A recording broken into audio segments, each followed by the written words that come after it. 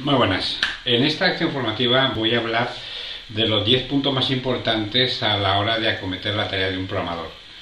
A mi entender, estos 10 puntos eh, son una serie de comportamientos y de acciones que son convenientes realizar para llevar a cabo a buen término el trabajo de un programador informático.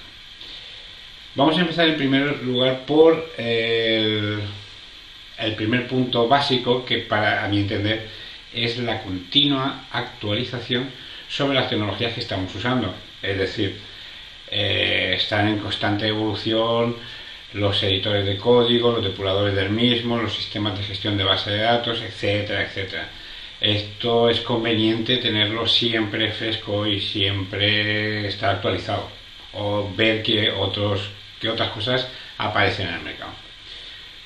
Eh, un segundo punto que va íntimamente relacionado con el primero, eh, trataría de, mm, de, investigar o de explorar las nuevas tecnologías, no las evoluciones de las que tú estás utilizando, eso sería parte de la actualización, sino de eh, nuevas herramientas, eh, nuevos lenguajes de programación, nuevos mm, motores de bases de datos, nuevos estándares de información, etcétera, etcétera. Es un punto también muy importante porque en muchas ocasiones eh, se ahorra mucho trabajo o se puede programar en unas condiciones óptimas. En tercer lugar, eh, vamos a empezar a ocuparnos de qué hacemos con la información que nos da un analista. Es decir, tú como programador recibes una información que te suele dar el analista. Y normalmente lo que se suele hacer, o lo que yo suelo hacer, es analizar eh, toda la información que me dan y buscar procedimientos comunes. ¿Por qué? Pues esto me ayuda a elaborar un código más sencillo y evita que duplique código, que intento identificar procesos comunes a lo largo de todo el proyecto para solamente programarlos una vez, no tener esa disyuntiva de que en, un mantenimiento hago un programa, o sea, hago un proceso y luego siete mantenimientos después vuelvo a hacer el mismo proceso, ¿vale? De esta manera, si lo, si lo analizas y lo identificas antes, te evitas, te evitas este problema. El cuarto punto, eh, lo tengo que apuntado,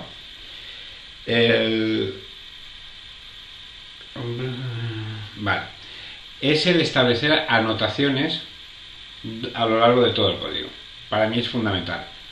Es decir, tú vas programando y cada vez que entiendes que existe una dificultad en el código, que sabes que cuando vuelvas a ese código dentro de dos meses no vas a saber qué es lo que hace, eh, yo siempre intento hacer anotaciones pongo comentarios eh, describiendo qué hace el proceso, quién ha realizado ese proceso y en qué fecha.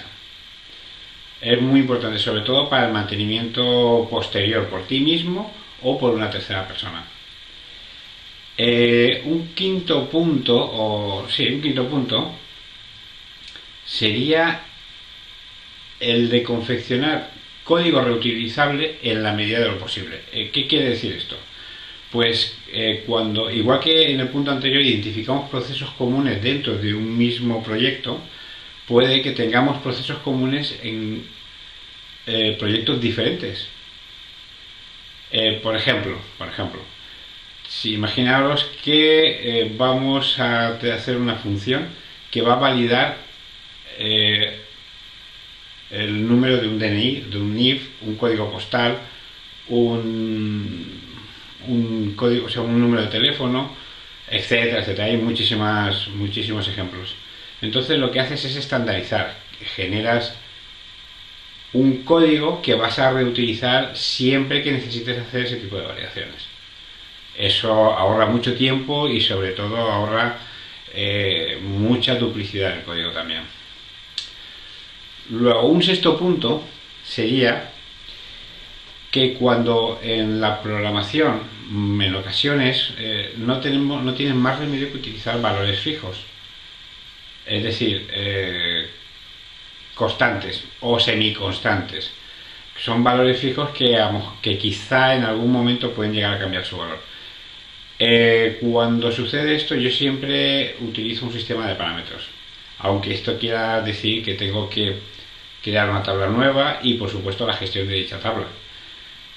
Eh, ¿Qué me ofrece este sistema? Pues este sistema me ofrece que cuando se produce la variación de ese, de ese valor, no tengo que tocar el programa, simplemente modificar el valor en la base de datos, bueno, en la tabla de parámetros, y, todo funcionaría bien.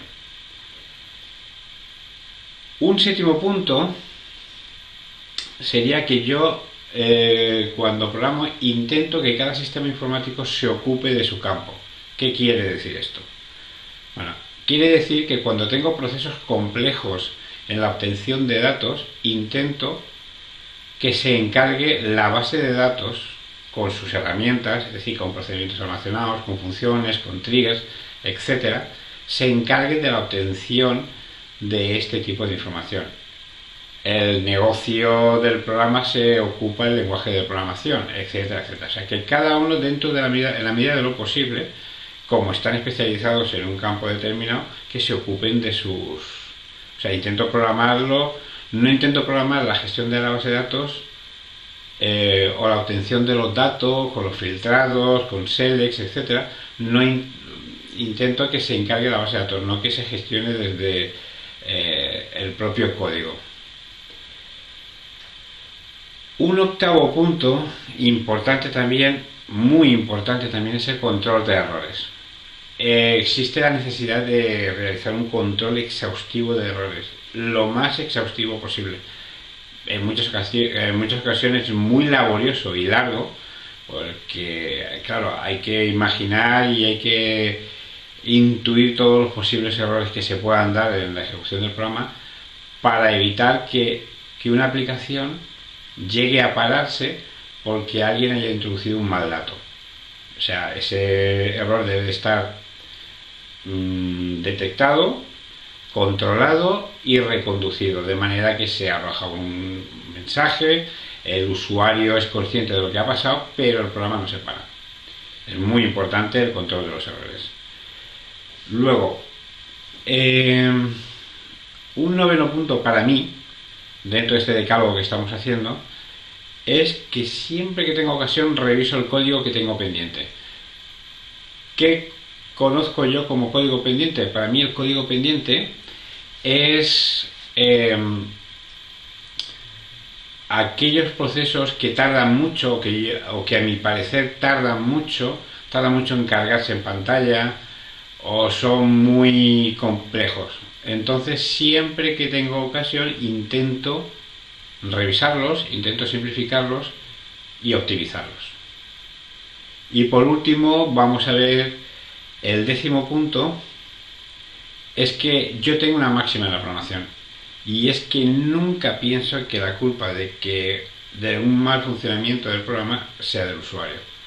Eh, yo pienso que si el usuario mete mal un dato que es capaz de parar la ejecución de un programa, no es que el usuario haya metido un dato erróneo, sino que el programa le ha permitido al usuario meter un dato que no debería haber permitido. Es decir, realmente el fallo aquí estaría en nosotros, en los programadores, que hemos permitido, no hemos controlado ese posible error y hemos permitido que, o sea, el programa no ha controlado la posibilidad de que el usuario meta un dato erróneo.